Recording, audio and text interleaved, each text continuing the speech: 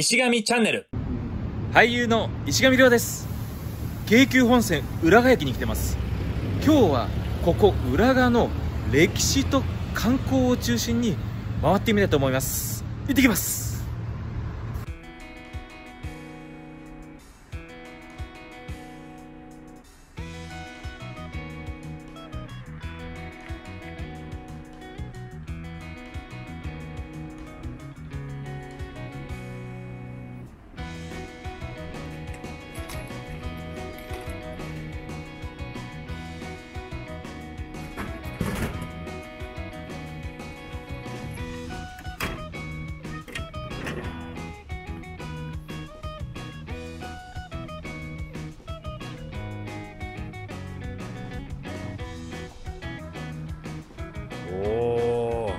浦賀といえば黒船ですよね。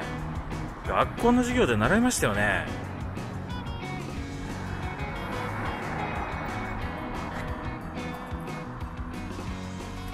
これがサスケハナ号。ああペリーが乗ってきた船か。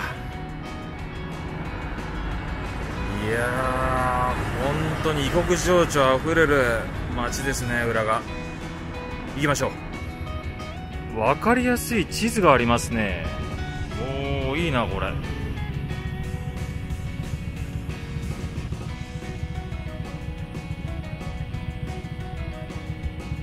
あこれだ。そうそう。私戦国時代が好きなのでこの戦国時代の浦賀城市ここまず目的地に行ってみようかなと思います。で、えー、と最初の目的地は、とこの辺りか？浦賀駅から歩いてきたのがこの横須賀古道という道なんですけどもう今日ねすでに24度か5度ぐらいいってるんで暑いですね。早速買ってきたこの水が役に立ちそうです。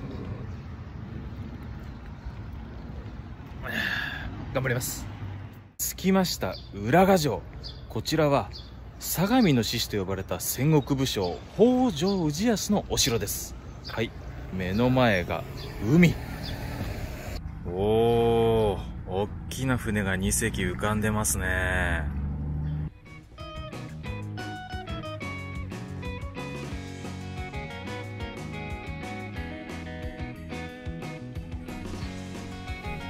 この浦賀城ですが今は加納神社さんという神社になってるようですね。いやすごい急な階段だこれ。山城を彷彿と進めますね。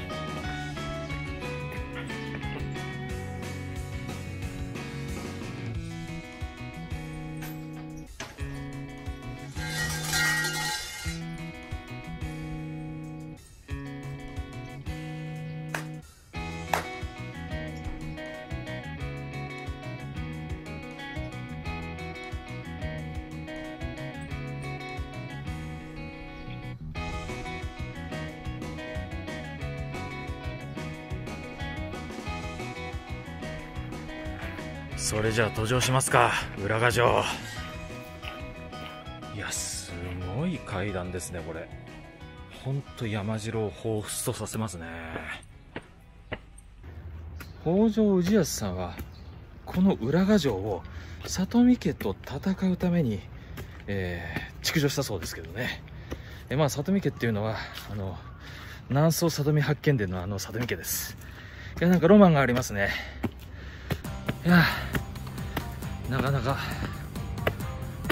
階段きつい。いやほんと昔は土塁とか空堀とかあの山そのものを妖怪化したお城だったんでしょうね。光が見えてきました。ああああおー。本丸かな、ここが。何か、神社があったりとか、日が立ってますね。石碑。ちょっと行ってみましょうか。ああ。よし。はい。さあ。よいしょ。おお。いや、やっぱ城だね。確実に城だ。山城だよ。昔はね、こう、木は、こう、切られてね、見晴らしがいい状態で、えー、北条家が、里見家と信仰に備えたんじゃないかと思います。あ、これだ。出た。じゃん。裏が上司。戦国時代に小田原北条氏が三浦半島を支配した時に、房総里見市からの攻撃に備えて、北条氏康が三崎城の出城出城として築いたと言われています。さあ、じゃあこんな感じで。えー、ちなみにですけど、こ、この、えー、裏側置きになりますね。眼下に見えるこの大海原が裏側置き。ここに黒船4隻が来航したのが見えたそうですよ。ペリーの黒船ですね。サスケ花号をはじめとしたペリーの黒船。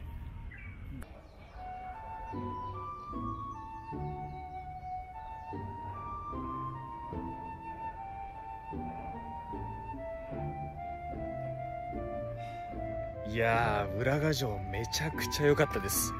戦国ロマンが詰まった山城でした。ちなみになんですけど勝海舟さんが断食修行をしていた場所でもあったようなんですけどごめんなさい僕あの戦国目的で今回来たんでスルーさせてもらいました。じゃあ次の目的地行きましょう。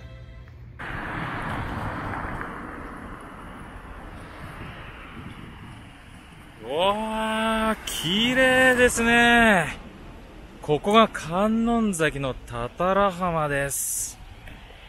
うわー、もう、梅雨前だっていうのに、もうすでに海水浴しちゃってるよ。じゃあちょっと、私も降りちゃいましょうか。砂浜に。いやー、綺麗ですね。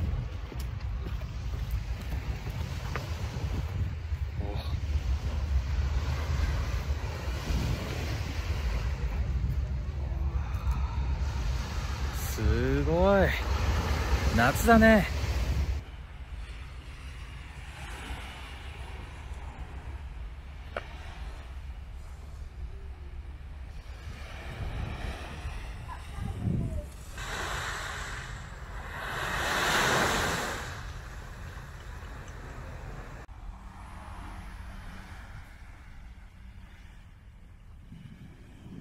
これがゴジラの足跡らしいです。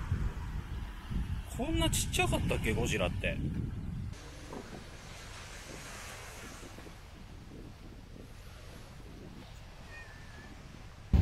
はい。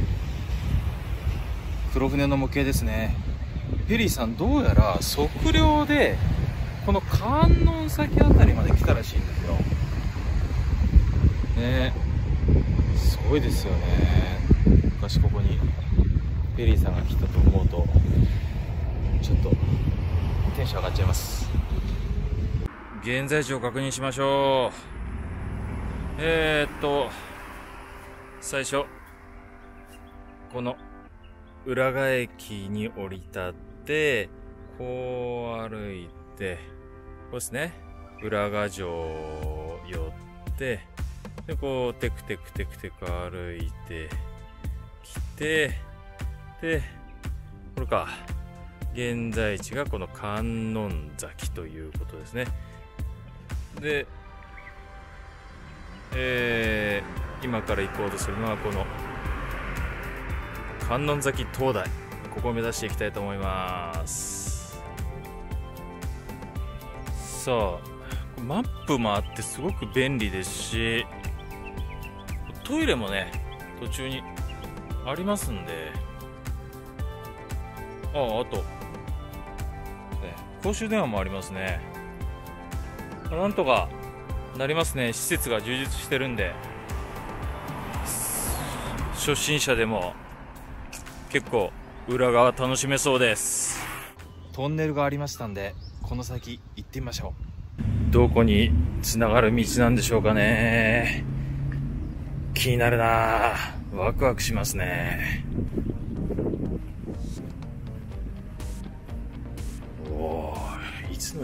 ンネルなんだすごいな壁が。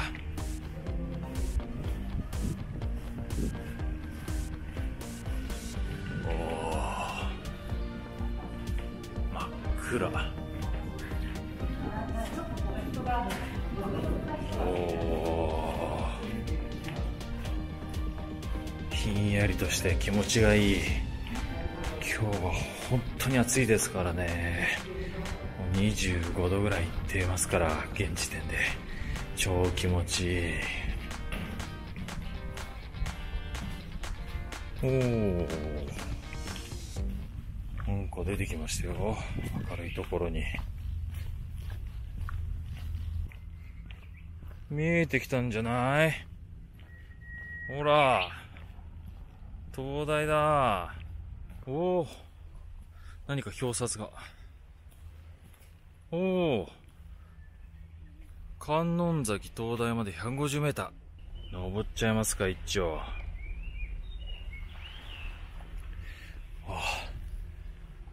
灯台まで 150m 階段が。いやーなかなか急な階段ですわ。浦賀とか観音崎とかこの辺り観光するのは階段との戦いですね。よいしょ。よいし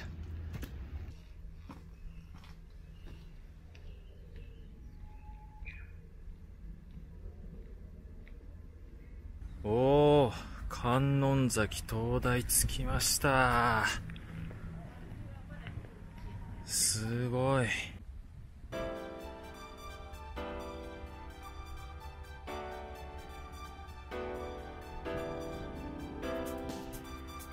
こちらの観音崎灯台に登るには寄付金300円必要らしいんでそちらの窓口で払ってから登りたいと思います。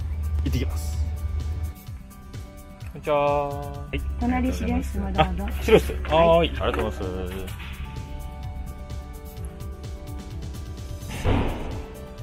まあ資料室はとりあえず後回しで。行きましょう土台。おお眺めが最高だね。観音崎灯台は日本最初の近代灯台全然知らないねそういうことね。勉強になりました。入り口。それでは登れる観音崎灯台登ってみましょう螺旋状の階段になってますね。ニューヨークに行った時に自由な女神が登った時にもこんな感じの螺旋階段でした。よいしょ。おもうちょっとあるんだね。急ですね結構。よいしょ。よいしょおー。着いた。着いたぞ。うわー。いやーこれは。300円払う価値ありますね。すごいな船が。うん。漁船輸送船。ねえ。あとはヨット。いっぱいですね。では灯台の周りをぐるりんぱしてみましょう。いやいいですね。気持ちがいい。一国一城の主っていう気分ですね。誰もいません今。私のみでございます。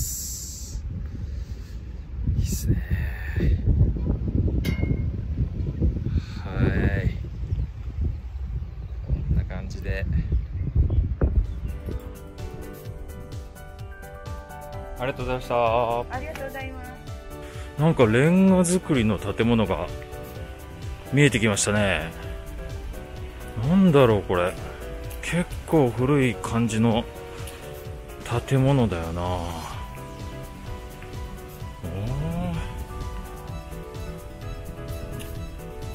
これは何でしょうか。あ書いてあるな。案内板が。見てみましょう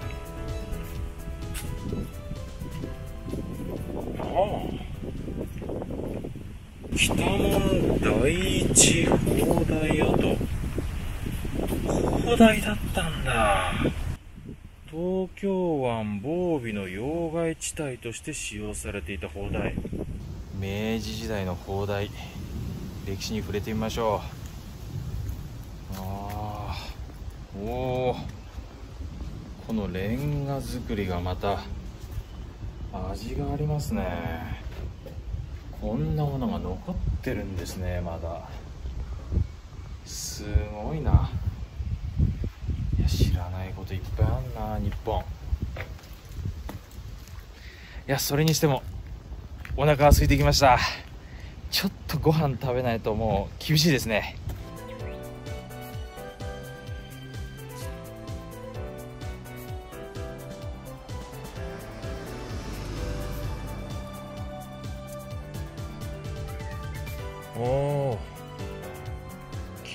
店ですかね？軽食喫茶エルム。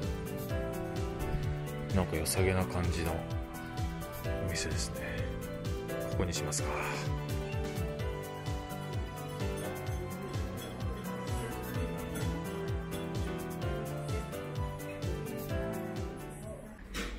A ランチと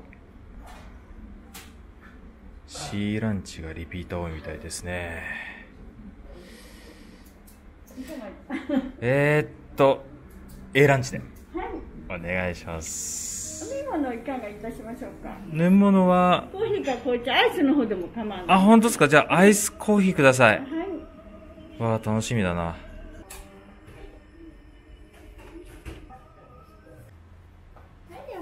はい。はーい。い。来たおお本当にご飯が埋まってるそうなんです。すごいですねはい。これはいい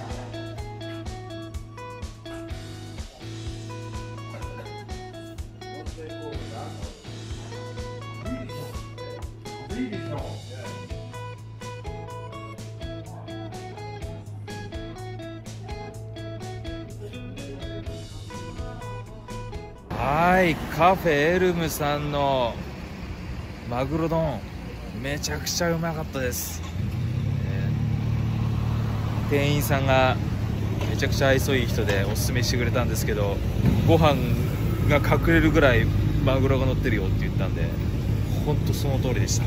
めちゃくちゃうまかったです。さあどうしますかね。まあ一旦また裏側の方に戻りますか。ねえ。いやー気持ちいいっすね。完全に夏だわ。海。最高。いやほんと今日はもう夏日ですよね。はい。水買ってきました。クリエイトさんありがとうございます。68円税込み73円です。助かりました。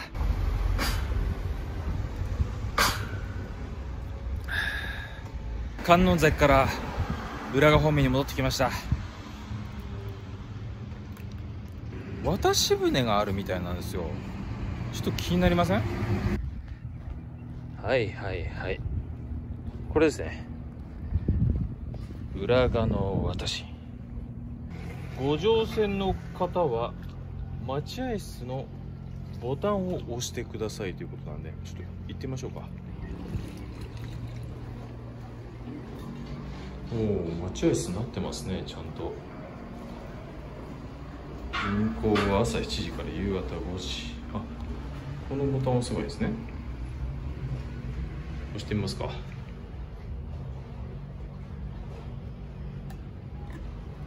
押しました？と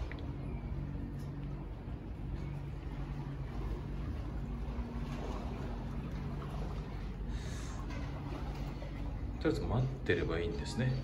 来ましたね。本当に来た来た。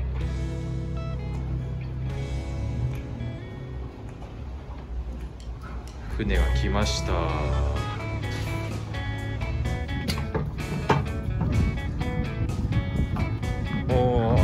立派な船ですね。はーい400円です。どうじゃない。ですか。ただはい。お願い。します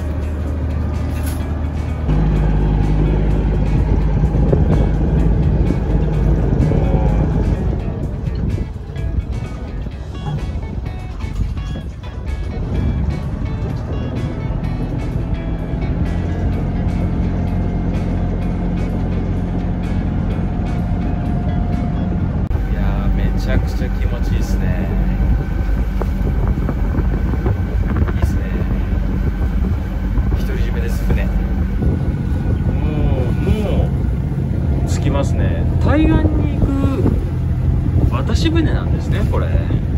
なるほどなるほど。あということはこっちからもこっちからも乗れるんですね。行き来してるわけですね。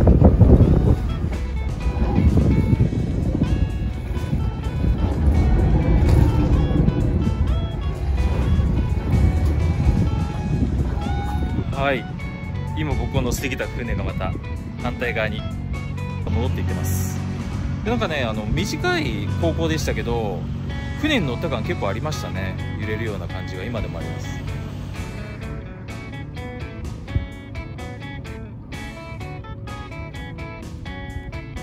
さあ浦賀駅方面に向かいつつなんか面白いところあったら寄って行きましょうかね。はい。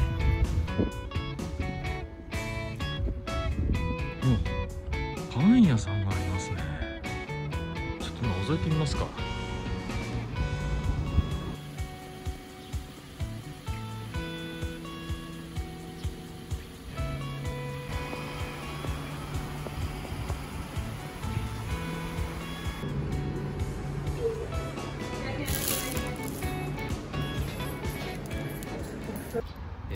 トフランスパン。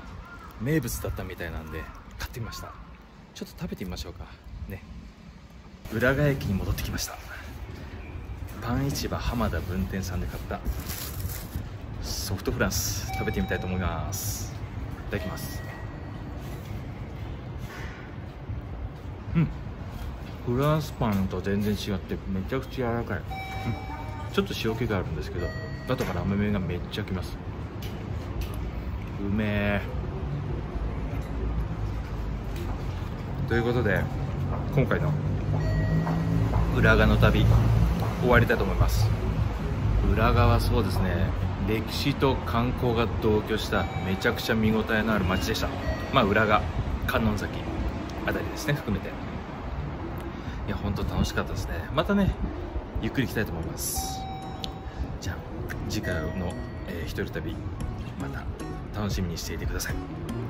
お疲れ様でした。ありがとうございました。